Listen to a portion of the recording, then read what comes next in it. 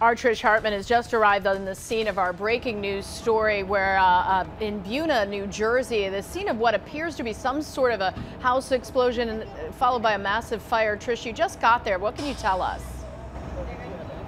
Sarah, we're still waiting on a lot of details, but this is a very large scene here in Buena, so I want to give you a, a, look at what we're seeing here as we're still waiting for more information on what exactly happened here this morning. So if I'll, I'll step out of the way here, we are on Southwest Boulevard here in Buena, and there's two um, lanes that are separated by railroad tracks here, and this whole thing is shut down, and you can mostly just see fire trucks, which is what we can see from this vantage point as well. Through the trees here on this right side of the street, you can see a little bit of smoke smoke here, and there are just firefighters everywhere. We've seen uh, fire uh, stations from Hamilton, uh, vehicles from Cherry Hill, which look to be support vehicles, are just pulling in. Uh, state police are here. I saw a vehicle that said bomb squad on it. So this is a very, very large response here on the 300 block of Southwest Boulevard. We'll give you a much better view of what happened here from Chopper 6. You can see that this uh, multi-alarm fire just left this house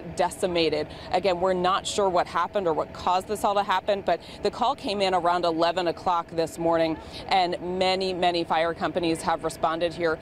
We are unsure about injuries at this point or if anyone was home at the time. I did speak with one gentleman briefly who said he was at work a few minutes away from here.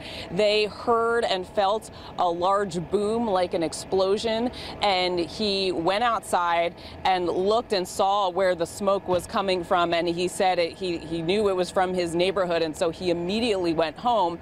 He was very thankful that it was not his house, but he was extremely concerned by what he saw, enough to leave work and immediately go home and check things out and see what was going on. So uh, again, we have a large police and fire response here. Atlantic City Electric is here, uh, and we've seen the South Jersey Gas as well. So we are working on getting more details about uh, this uh, very severe house fire that many are describing as what seems like a house explosion.